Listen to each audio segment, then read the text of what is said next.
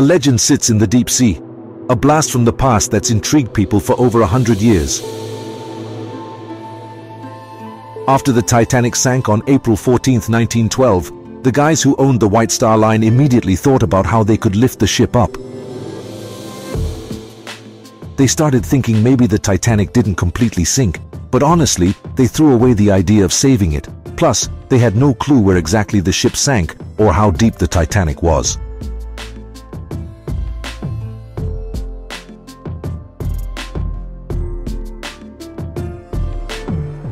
So back in 1912, they dealt with a lack of technology to find the ship, much less pull it up from the ocean floor. 73 years flew by before the Titanic was found by the ocean explorer Robert Ballard, sitting pretty 3,800 meters deep. That was a serious wow moment with the first images of the Titanic which showed the ship had broken apart, proving the White Star Line was wrong when they claimed the Titanic had sunk in one piece.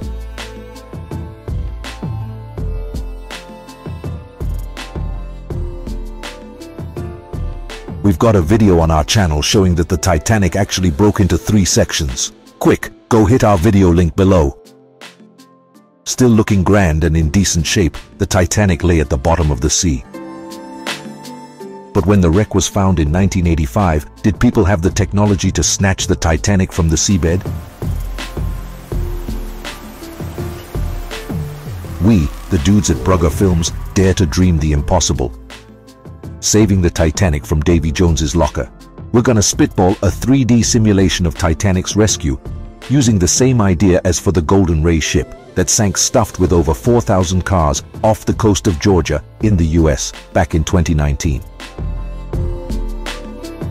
Hey there, welcome to the Brugger Films channel for another production. If you're not subscribed to the channel yet, go ahead and do that now. If you're enjoying the video, hit that like button and don't forget to share because why not spread our channel to your friends? Let's go.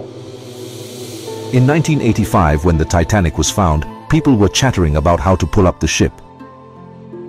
Million-buck theories with high chances of bombing came up, but the political angle made things even more complex. Who had the rights to Titanic's wreckage? This and the lack of solid tech meant any plans to rescue Titanic got canned. But let's be more optimistic.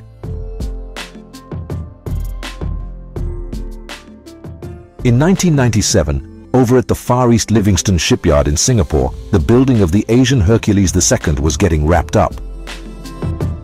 It was this mega crane that could lift just over 20,000 tons. Then in 2002, the Asian Hercules II, along with another Gundast, the Rambiz, hauled up pieces of the tricolor cargo ship that sank chock full of cars. They sliced up the tricolor using this tough cable called Widia, as strong as diamond. They fitted supports onto Tricolor's hull, then hoisted these giant chunks from the bottom of the sea and loaded them onto a floating platform to be shipped off to the port of Zeebrugge. We're going to use a similar trick for our Titanic simulation. We'll get the Hercules II to do the heavy lifting. Only hiccup is Titanic's at a depth of 3,800 meters. Basically, the Hercules II would need a whack of cable. The problem with Titanic is it's already in pieces, so cutting it further isn't an option.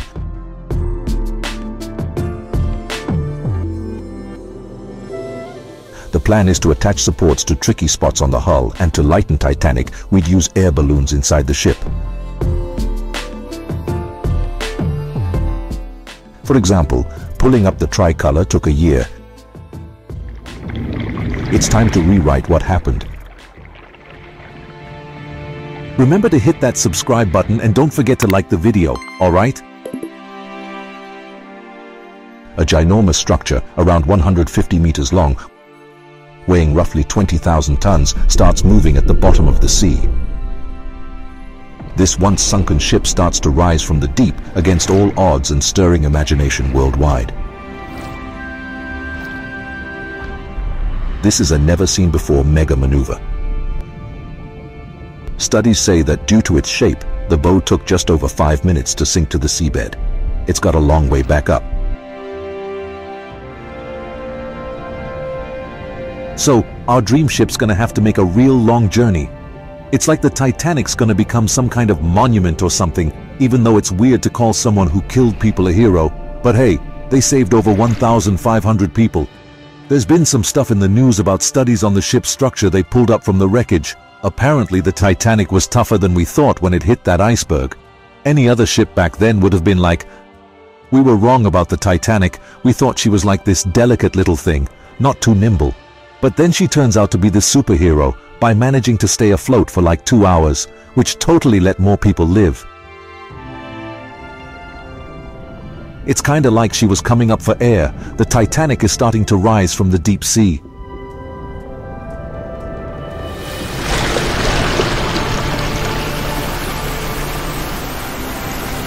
There's no more color anymore, and those awesome yellow smokestacks with black tops, all gone.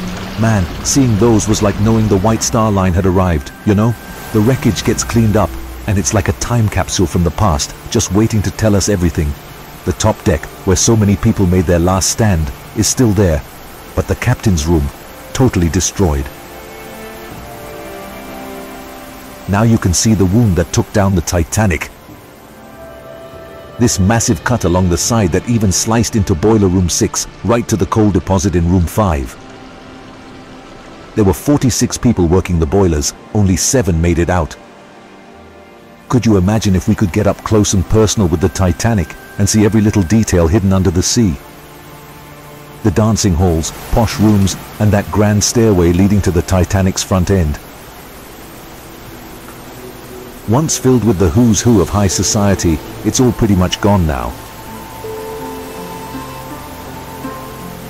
The cargo hold had tons of food, luggage and other supplies. There are these stories that the Titanic wasn't carrying just one car, but two. Workers and third-class passengers stayed up front, and they were the first to feel the iceberg hit. The squash court, a heated pool, even a gym, all a part of what the front of the Titanic had to offer.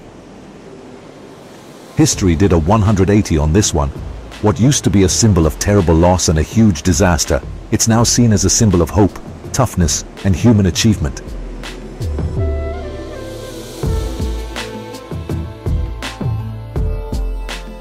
So the plan is to tow the Titanic to New York, finishing the journey it should have made that Wednesday morning, the 17th of April 1912. That's a week after it set off. This massive ship that once tested the waters ended up in a sad, watery grave, but now it's finally getting to where it was supposed to go all along. As time goes by, the Titanic becomes the remaining survivor of its own disaster. What do you think? Do you think the Titanic wasn't saved because we just didn't have the tech? Some people think the Titanic is getting robbed all the time. They cleaned out millions worth of jewels and stuff from down there, do you think we'll ever know for sure? Every cool story or interesting thing about the Titanic, the people on it and the mystery surrounding the ship are right here on the Brugger Films channel.